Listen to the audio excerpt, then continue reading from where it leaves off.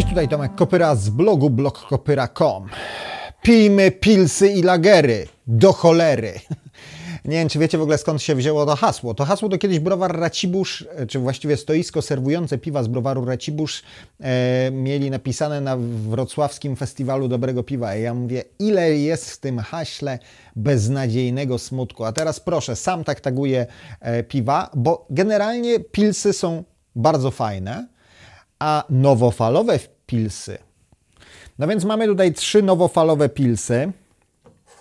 E, generalnie trochę szkoda, bo nagrałbym osobno, ale no, no, aż się prosi, chociaż wiemy, kto się prosi, świnia się prosi, nie? Aż się prosi, żeby je porównać i zobaczyć, który jest najlepszy. E, więc mamy trzy identyczne e, pilsy, jeżeli chodzi o parametry, czyli ekstrakt 12, alkohol 5,1, ale różnie nachmielone. Taki Circle to można powiedzieć taki najbardziej klasyczny, w tym sensie, że użyte takie najbardziej znane mm, odmiany chmielu, czyli Citra Mosaic Simco. E, następnie mamy już taki bardziej e, nowoczesny, czyli Strata Sabro Idaho 7. No i można powiedzieć taki, e, prawda, New Zealand Pils, bo mamy Pacific Crest, zakładam, że to jest jakiś nowozelandzki chmiel, Nelson i Motueka. Nie mamy żadnej morskiej opowieści. E, no wygląda to troszkę na taką taśmówkę, nie? Ej, wymyślcie coś, żeby tam były ten, e, no co, co, co, no może, nie wiem, na figury geometryczne, no jeszcze kwadrata brakuje, kwadratu, e, czyli square. Mamy circle, rectangle i triangle. No powiedzmy tak mało kurwa kreatywnie jak dla mnie, ta nazwę. Te nazwy, te, te e, znaczy etykiety no, też. Też taka, no, zróbmy szybko trzy, mamy trzy różne piwa. Nie wiem, nie wiem, jakoś tak... Ciekawy jestem w ogóle, czy to było tak, że to są trzy różne piwa, czy to jest jedno piwo nachmielone na zimno w różny sposób i na przykład podzielony tank na trzy, yy, na trzy ten. Nie wiem, nie wiem. Um, Także teoretycznie mamy całkiem sporo informacji, ale nie bardzo dużo. Ważne, że jest ekstrakt, za to szanuję. Mamy te chmiele, które są użyte, no ale składniki to woda, słód jęczmienny, chmiel, drożdże, czyli no można powiedzieć, no pff, obowiązkowe to, co musi być na etykiecie. Mm. Spróbujmy zatem, zacznijmy od klasyki Citra Mosaic Simco.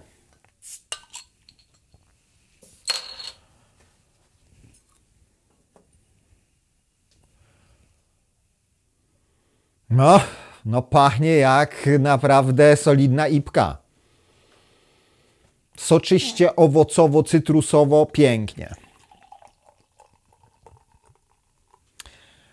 Delikatnie, ale naprawdę delikatnie zamglone. Generalnie no, no, jest zamglone, jest zamglone, ale nie jest hazy. E, drobna, e, drobno i średnio pęcherzykowa, niezbyt obfita piana. Powiedzmy piana mogłaby być lepsza, ale piana to jest, znaczy jak nie znika do zera, no to, to, to nie ma się co jej tak strasznie czepiać.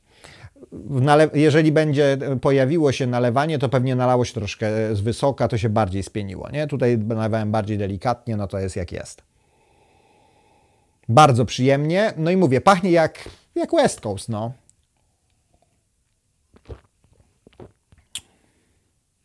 O, wow. Mmm. Grejpfrutowe, bardzo grejpfrutowe. Soczyste. Konkret goryczka, wytrawny. No smakuje jak West Coast. Smakuje jak West Coast IPA, a ma tylko 5%. I tylko pewnie 220-250 kilokalorii na butelkę.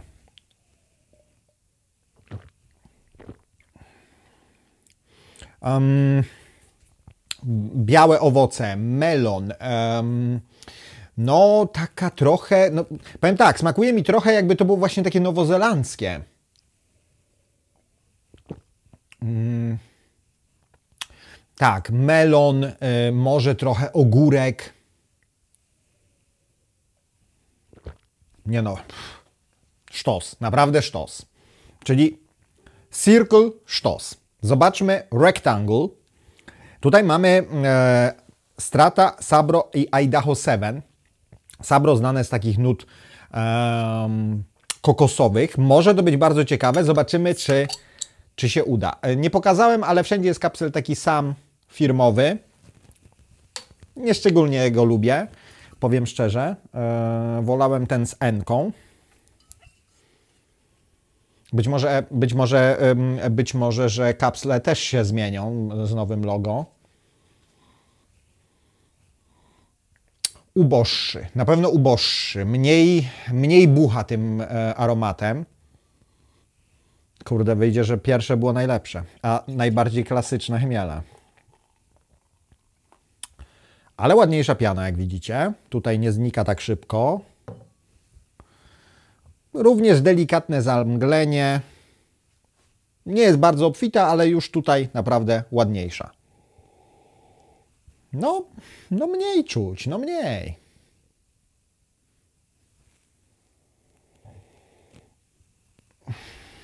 No nie powala zapachem. A jak w smaku? No, piękne. To jest naprawdę polecam Wam kupić wszystkie trzy. Znaczy trzeciego jeszcze nie próbowałem, więc może się okazać, że go nie polecam, ale polecam, bo y, identyczne parametry, a te piwa smakują zupełnie inaczej. To się wydaje pełniejsze, słodsze, yy, treściwsze, leciutko kokosowe, czyli Sabro tutaj zrobiło swoją robotę. To są Różnią się tylko chmielem te piwa, natomiast to jest, efekt jest kolosalny, kolosalnie się różnią. To wręcz nie jest do pomylenia.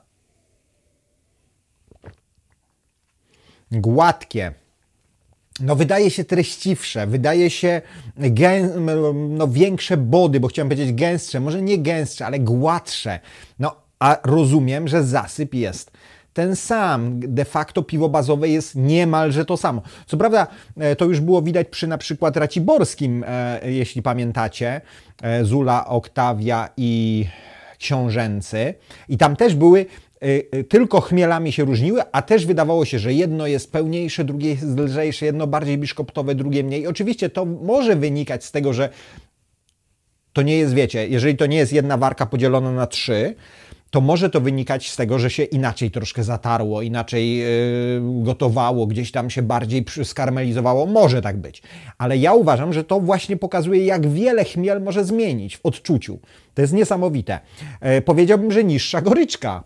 To też jest normalne, no bo jeżeli użyto tych trzech chmieli, one mają różne y, alfa-kwasy, różne e, rodzaje E, tam myrcenu, e, e, kohumulenu i tak dalej, i tak dalej. One beta kwasów inną zawartość, alfa kwasów, to wszystko wpływa na to, na odczuwanie tej goryczki. Czy ta goryczka będzie bardziej jakby krótka, szlachetna, czy ona będzie bardziej agresywna, zalegająca. No, to są niuanse. I teraz fajne jest też to, że nie poszli jakby na łatwiznę, znaczy na łatwiznę, nie na łatwiznę, ale w sensie, że to są trzy, trzy yy, blendy trzech różnych odmian chmielu, a nie single hopy, bo single hop oczywiście też są fajne i to też fajnie pokazuje, um, co dany chmiel potrafi. I tutaj y, ja już mówiłem, że bardzo fajnie to właśnie wychodzi w pilcach, dlatego że w ipkach często, no, różnie to tam bywa, nie? Natomiast w pilsach rzeczywiście te chmiele potrafią wyjść na wierzch. Natomiast robiono kiedyś takie badanie, że najwyżej ocenione IPA, to było dużo, dużo lat temu, no pewnie gdzieś z 8, to są te, w których są użyte trzy odmiany chmielu. Nie jedna, nie single hopy były najlepiej oceniane, nie jakieś tam, że 15, tylko właśnie trzy. I rzeczywiście tutaj, e, no tu już piwowar musi się wykazać jakąś, jakąś, jakąś wizją, jakimś swoim doświadczeniem, co mu się klei, co nie, to znaczy, które odmiany chmielu będą mu współgrały, a które będą się gryzły. No i powiem tak, no, jestem pod wrażeniem, jak bardzo te dwa piwa się różnią. Spróbujmy trzeciego. Triangle. Czy Triangle? taki sam kapsel.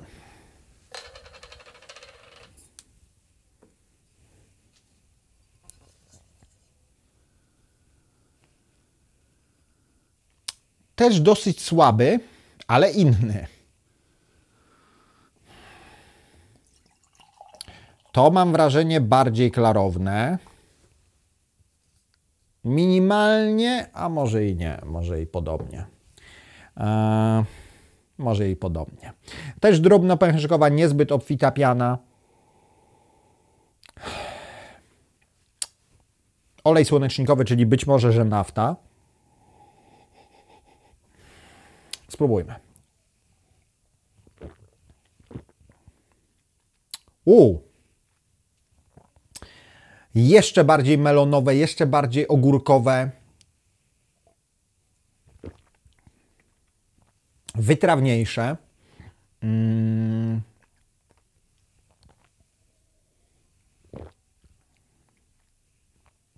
Fajna goryczka, delikatna. Mm.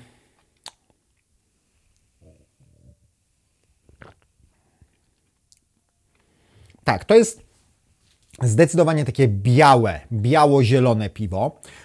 To było troszeczkę, no nawet ta etykieta um, koresponduje e, z tym smakiem. To było bardziej żółte, właśnie takie. Tak, zdecydowanie więcej dojrzałych owoców.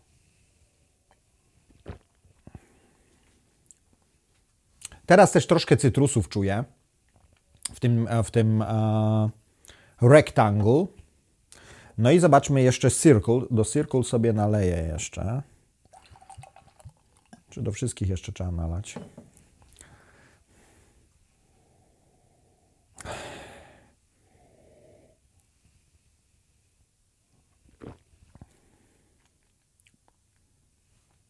To są trzy różne piwa. Trzy różne piwa, którymi najlepiej smakuje. No i powiem Wam, że to jest trudne pytanie. Tu jest naprawdę fajna goryczka, takie rzeczywiście west coastowe jest, e, jest, ten, jest ten circle. To rectangle.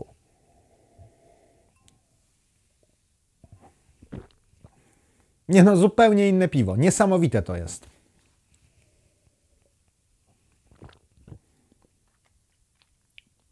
To jest wytrawne, smukłe, takie kojarzące się właśnie z West Coastem. To jest takie pełniejsze, gładsze, kojarzące się trochę z hazy ipką. Dużo gładsze, mniejsza goryczka. Takie łagodne.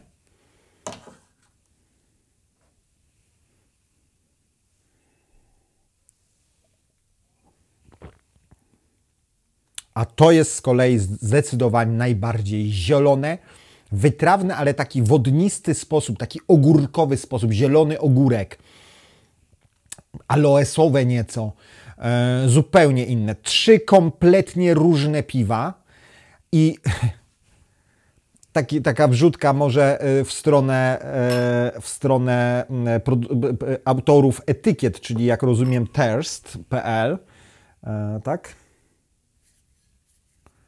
Czy etykiety zrobił tak, ters.pl, to powiem tak, te piwa różnią się dużo bardziej niż etykiety tych piw. Zdecydowanie.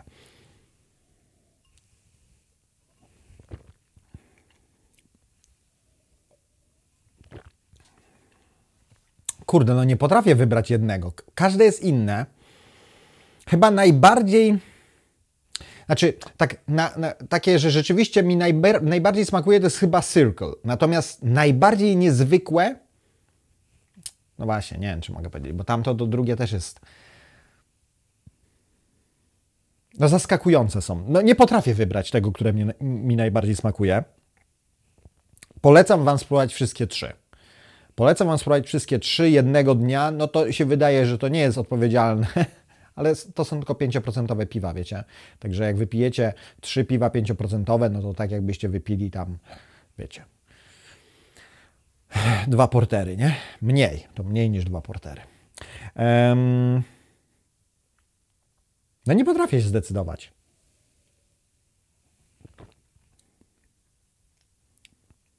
Bardzo, bardzo, bardzo intensywny taki posmak białych biało-zielonego owocu.